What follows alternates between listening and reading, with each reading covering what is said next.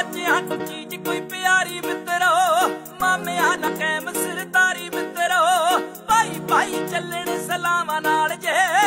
ਇੱਕ ਦਿਨ ਆਪੇ ਫਿਰ ਗੁੱਡੀ ਚੜਦੀ ਲੱਖ ਸਾਂਝਾ ਪਾ ਲੈ ਦੁਨੀਆ 'ਚ ਮਿੱਤਰਾ, ਜਿੱਥੇ ਆਪਣੇ ਖਲੋਂਦੇ ਉੱਥੇ ਗੱਲ ਬਣਦੀ।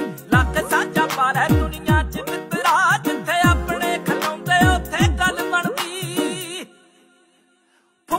ਤੋਂ ਬਿਨਾ ਰੌਣਕ ਨਾ ਲੱਗੇ ਬਈ ਜਵਾਈ ਨਾ ਹੋਵੇ ਤਾਂ ਜਿੱਤਗੀ ਨਾ ਬੱਬੇ ਬਈ ਮੁਖੜਾ ਤੋਂ ਬਿਨਾ ਰੌਣਕ ਨਾ ਲੱਗੇ ਬਈ ਜਵਾਈ ਨਾ ਹੋਵੇ ਤਾਂ ਜ਼ਿੰਦਗੀ ਨਾ ਫੱਬੇ ਬਈ ਮਾਸੜ ਤਾਂ ਰਹਿੰਦੇ ਚੱਲੋ ਹੱਥ ਕਰਦੇ, ਸਾਲੇ ਨਾਲ ਹੋਣ ਆਪੇ ਇੱਕ ਤਣਦੀ ਲੱਕ ਸਾਂਝਾ ਪਾ ਲੈ ਦੁਨੀਆ 'ਚ ਮਿੱਤਰਾ ਜਿੱਥੇ ਆਪਣੇ ਖਲਾਉਂਦੇ ਉੱਥੇ ਗੱਲ ਬਣਦੀ।